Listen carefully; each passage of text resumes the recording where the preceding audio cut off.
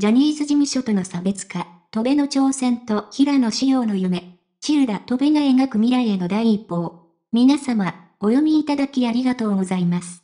本日は、滝沢秀明氏率いる新たな舞台、戸辺、トゥービーに注目し、そこから広がる未来への一歩をお伝えします。世界同時配信デビューを果たした7人組グループ、インプの登場から、滝沢氏の新たな戦略、そして元 V6、三宅健、元キングプリンス、平野紫耀と神宮寺勇太の合流による差別化の可能性に迫ってまいります。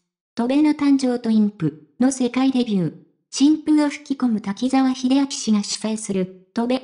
その機関となるグループ、 IMPが18日に世界同時配信デビューを飾りました。かつてジャニーズジュニアとして、インパクターズとして活動していた彼らは、滝沢氏の新たなプロジェクトに参加し、その活動は今後ますます注目を集めることでしょう。滝沢秀明氏の心残り。これまで滝沢氏はスノーマン、シクストウンス、そしてトラビッシュジャパンのデビューを手掛け、その成功を収めてきました。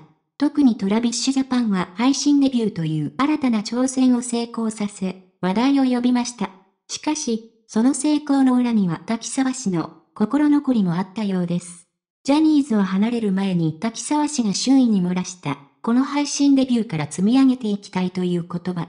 しかし、それを実現する前にジャニーズを辞める決断を下ろすこととなりました。彼の中には、不完全燃焼という思いが残っていたことでしょう。ジャニーズとの差別化の鍵、戸辺には、かつてのジャニーズメンバーたちが集結しています。そこには、やめ、ジャニが新たな風を吹き込む可能性を秘めています。滝沢氏が配信に力を入れる方針を打ち出していることも大きなポイント。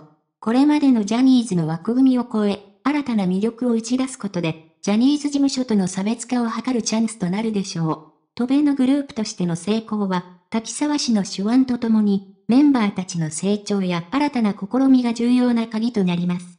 ジャニーズと渡米がお互いに刺激し愛、成長を遂げていくことで、エンターテインメントの未来を切り開いていくことでしょう。平野仕様の未来、IMP.の成功に続き、元 V6、三宅健、元キングプリンス、平野紫耀と神宮寺勇太も、 TOBEに合流しました。